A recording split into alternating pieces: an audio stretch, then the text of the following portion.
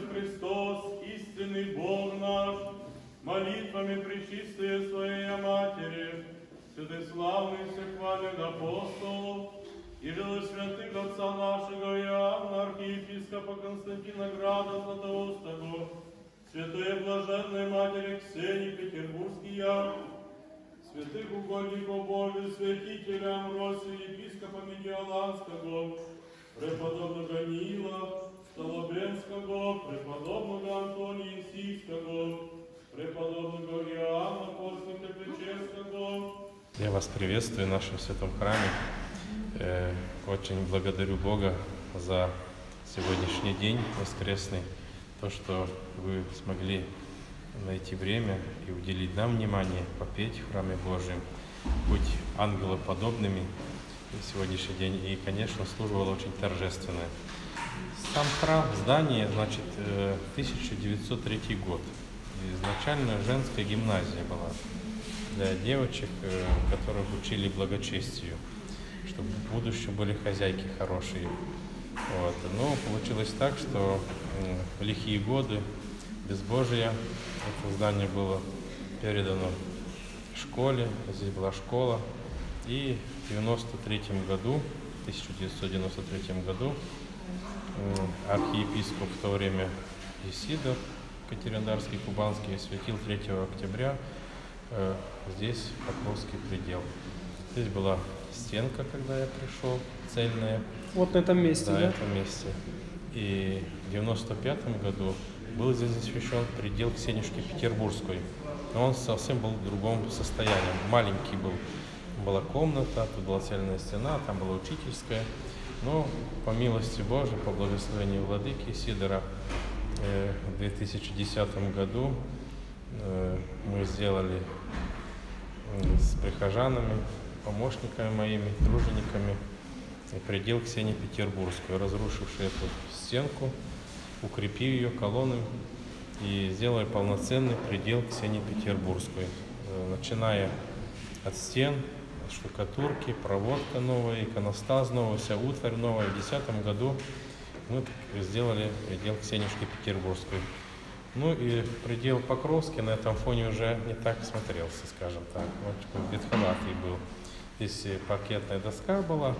И в семнадцатом году, опять же, по благословению Владыки Сидора, с помощниками, жертводателями нашего храма, мы сделали Покровский предел. В честь Святой Богородицы, Матери Божией. Написали э, новые иконы, новый иконостас, где находится 58 икон. Вот, и все эти иконы, которые вы видите сейчас, написанные, все сусальное золото, настоящие, нашим иконописцем Владимиром Бутовым, известным которого э, есть благословение почившего патриарха Алексея II, но и нашего владыки Сидора. Поэтому стараемся с Божьей помощью благоукрашать этот храм. Поэтому уже здесь э, 12 лет я нес- несу послушание, а до меня служил э, ныне владыка епископ э, Сочинский Топсинский Герман. Благодарим Владыку за понесенные труды в этом святом месте. Но мы, если будет воля Божия, будем дальше тоже трудиться на благо церкви, во благо спасения душ человеческих. Спасибо, Господи, батюшка. Прекрасно, очень Слава Богу, интересно. И мы желаем процветания приходу, а приход это большая дружная семья. Семья, и духовная, все да. бывает, как в семье. И Конечно. радости, и горести. И вот желаем, чтобы вы все горести проходили э, вместе, а радовались еще больше, чтобы семья ваша крепла и росла. И чтобы у нас больше было радости, мы очень вас будем всегда ждать. Рады Ну, будем, чтобы вы Будем рады по приезжать. возможности при- приезжали к нам и восхваляли имя Господне. Как пророк Божий Давид говорил, пою Богу моему, донде же есть, сколько жить буду, сколько буду петь Господу, что молодцы, что не закопали талант, вот, да, приумножайте, и будет с чем прийти к Господу Богу, когда встреча будет, а она будет неизбежной для каждого. Хочет человек, не хочет, все будем там. И самое главное то, что там будем без должностей, без всяких полномочий, а равны. Хоть мы сейчас на земле равны, но, к сожалению, бывает иногда люди живут в облаках, потом больно Да. очень падать, но надо смиряться, надо трудиться, и Господь нам будет помогать. Спасибо большое. Вам спасибо большое, низкий С поклон. праздником. С праздником.